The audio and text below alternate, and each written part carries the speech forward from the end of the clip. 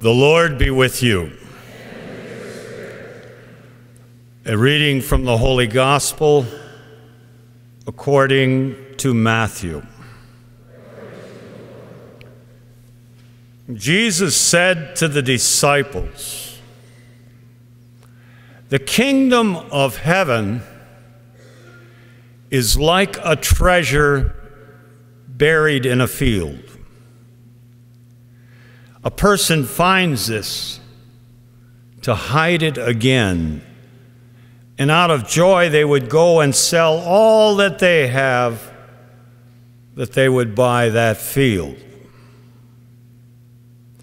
The kingdom of heaven is like a merchant who searches for fine pearls.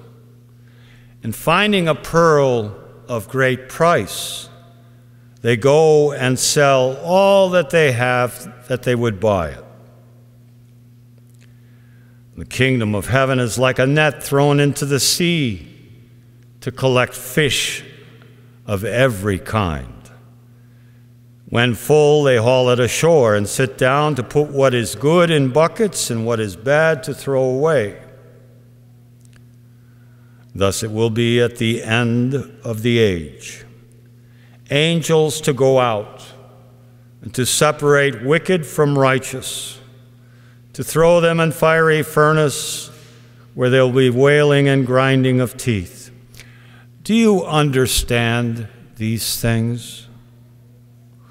And they all answered, Yes.